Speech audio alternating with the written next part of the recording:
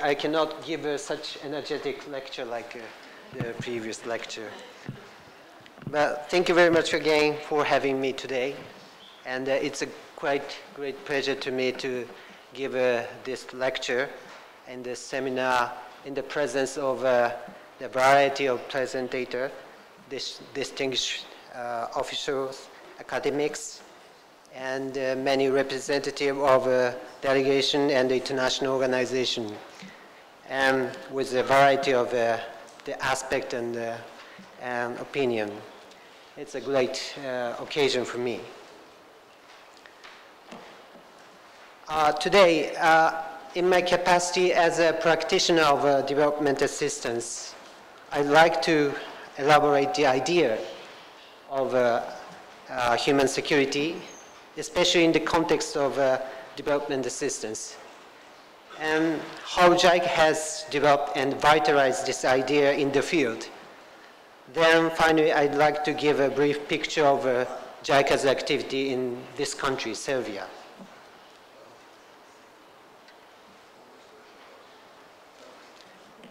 It might be a little bit redundant the, with the previous presentation, but firstly, uh, I'd like to give a brief background regarding human security.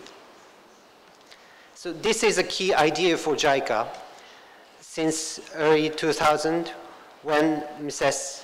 Uh, Sadako Ogata, the proponent of this idea, uh, took, the took the office of uh, president of JICA. And there are two trends uh, which made development agencies, in, including JICA, brought more attention to this uh, key concept. The firstly, the rapid globalization, which deepened the interdependence of the world, the threats uh, brought by rapid globalization, including economic crisis and terrorism, transnational uh, crimes, environmental degradation, infectious disease, and many things can easily cross borders and brought about negative impact to the people. Then secondly, the nature of conflict changed, especially after the end of the Cold War. Uh, namely, the number of uh, civil war increased, while interstate war decreased. Besides emergence of uh, failed or fragile states, put a big question mark to the legitimacy or capacity and responsibility of the state to protect people, especially. As a result, state security is no longer sufficient. Of course, it, the importance will not diminish, but needs to be complemented by the other. At this alternative, human security gets increasingly focused. In this slide, you can see how human security has been integrated in the Japanese ODA policy. ODA means Official Development Assistance. In the ODA Charter, which was formulated in August 2004, Japanese government stressed the importance of human security perspective as one of the five basic policies. Then in the midterm policy on ODA, which was uh, formalized in February 2005, human security was for, uh, defined as an effective approach to the uh, development assistance, and which clearly defined the idea like this. Uh, human security is defined as focusing in the individual people and building society in which everyone can live with dignity by protecting and empowering individuals and community that are exposed to actual and potential threats.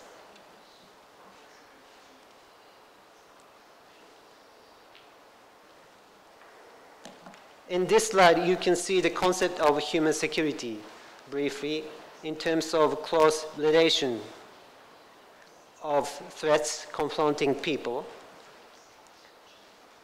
The people are confronted, confronted with a variety of threats, both fear and want fears such as conflict and terrorism, which is rampant globally.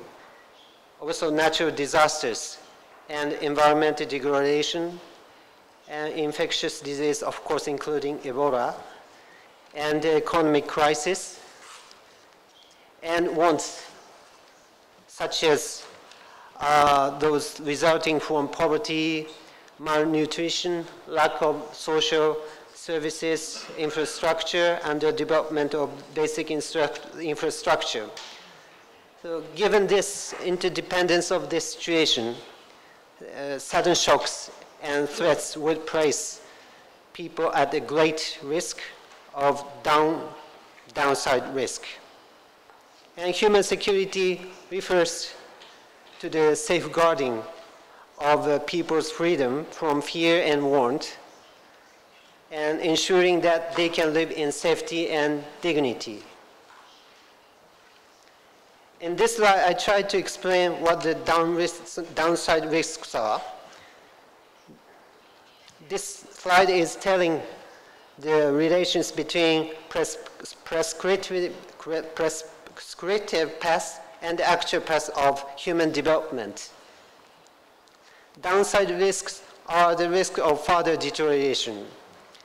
So we, we may imagine that life is upward, positively and, uh, uh, and optimistically, but in reality, it is not true. We are surrounded by and faced with uh, many actual and potential uh, risks, fears, and want. So without any proper actions to cope with or prevent it, the life can be negatively affected by the downside risk.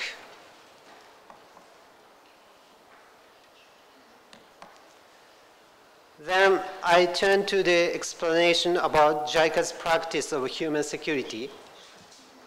The basic idea is a complementary approach between top-down and bottom-up. Top-down means intervention to the state level through capacity building for governmental institutions, which have primary responsibility to protect, protect people, while the bottom-up approach means intervention to a community and people level through empowerment of them.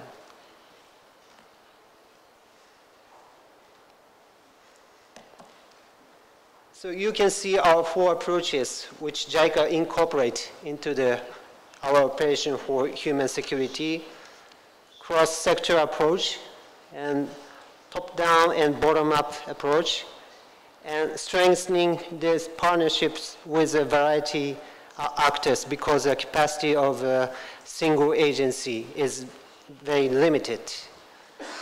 And also, I need to stress that uh, this downside risk management is also important. The big question is uh, security for whom, as everybody mentioned in this seminar. And it is very important to know who are the most vulnerable people are in order to reach out those population and to ensure the, the delivery of our service to them.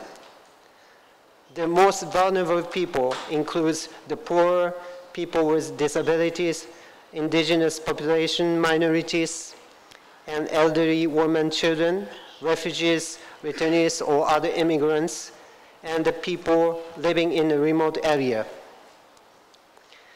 It is important to analyze the problem faced by those uh, vulnerable population, both in terms of uh, uh, social and cultural factors and the relations with other actors. It is quite important for us to design the project. That's why JICA spent more time for this process in the uh, complex situation. And this slide captures the summary of uh, JICA's practice for human security. And conclusions of this part. You will find that threats confronting people are closely correlated.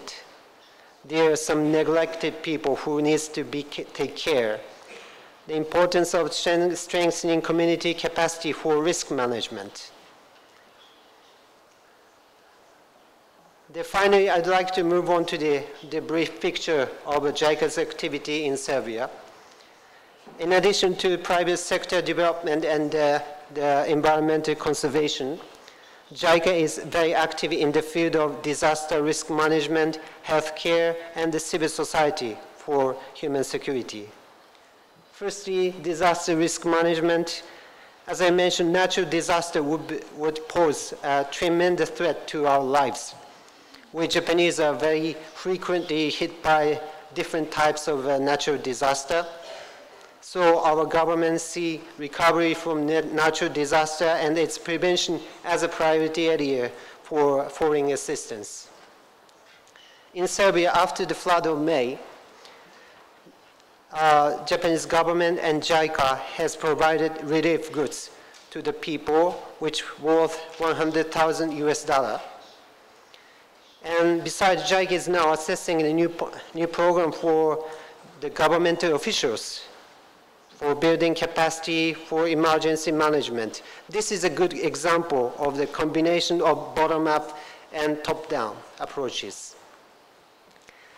In the healthcare sector, JICA has donated mammography to 39 health institutions for medical equipment for breast breast cancer screening and prevention in some years ago.